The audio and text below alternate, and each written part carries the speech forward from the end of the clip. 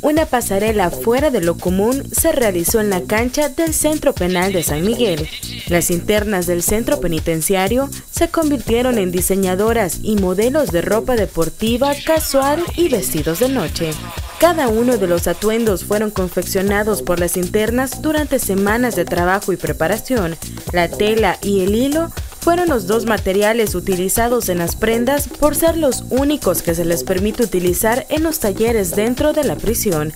En elsalvador.com, Iris Mejía.